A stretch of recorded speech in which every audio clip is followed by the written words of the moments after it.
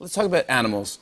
Can we talk about your pets? Yes, yes. Because every time you come on, there's always like a new addition to the family. That's right, that's right. This summer I had like a dog episode, like a connection with, a special connection with dogs. Tell, now tell me. I don't know what that means, but they came to me a lot.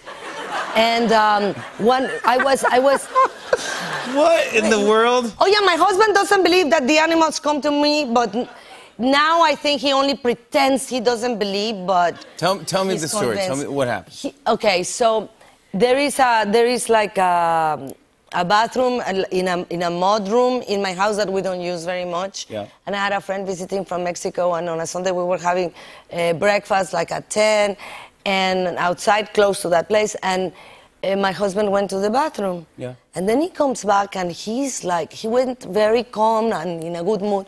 And he goes, Oh no, that's it. This is where you withdraw the line. This is like another level of crazy. You, I found you out. I found what you were hiding in the. I'm like, what are you talking about? I found a dog hiding in the thing. I said, I don't have any extra dogs. I haven't picked up any dogs.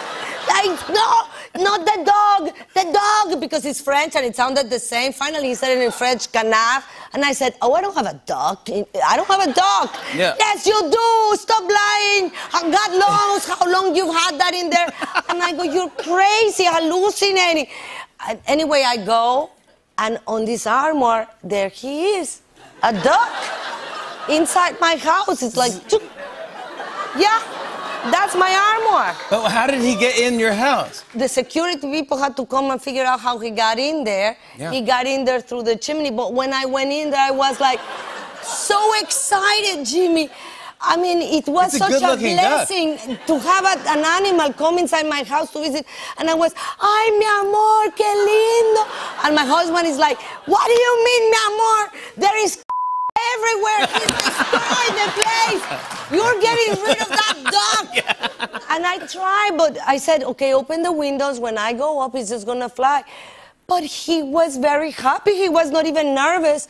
So I wanted to be a good host. I brought him some lettuce. And it, so finally, at six o'clock, he insisted enough.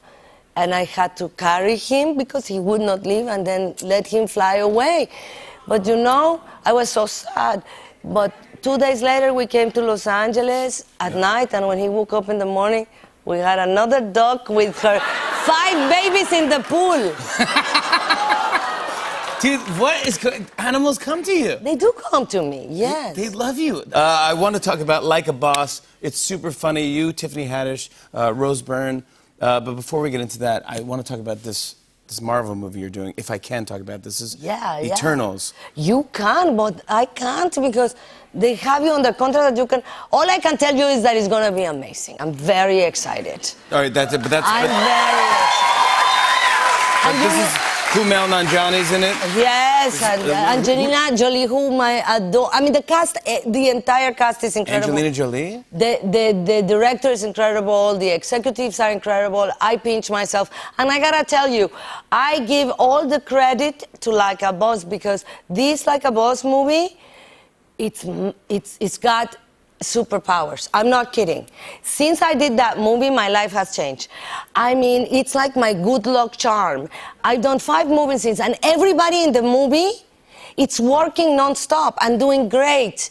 So I was trying to figure out what is it that makes this movie have these superpowers. And by the way, if you're superstitious, come and see it because it might change your life. And if you're not superstitious, come and see it because it's very funny. But I figure out I figure out what was the secret and why I'm doing so well. What, what was it? It is Tiffany. Um, she has these mojo bunions. I promise you. One day she was complaining about it, and I said, Girl, give me that food. And I rubbed it like the Aladdin lamp or like the Buddha belly. Yeah. I rubbed the bunion, and my life changed. You, you, you're she saying has a magical bunion, Tiffany. Tiffany Haddish's bunion is your Oh, good luck. Oh yes. You rub it for good luck. Oh yes. If anything starts going back, I'm gonna go find her and say, "Give me that foot."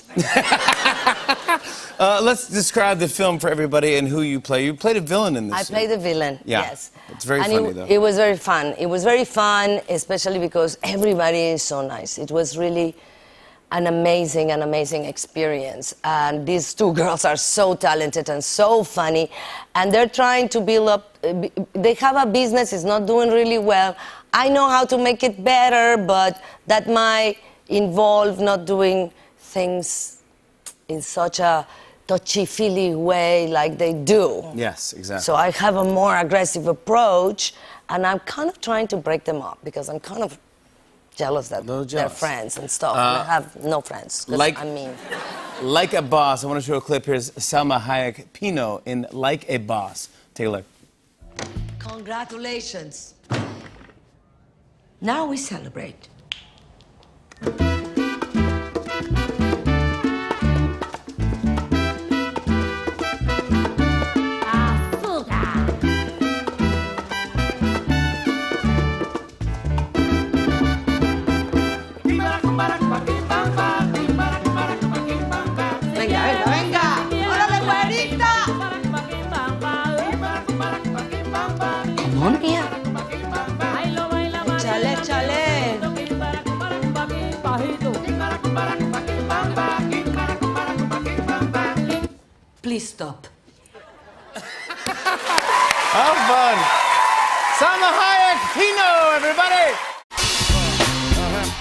on and on and on. Uh, I said, and it's on and on and on.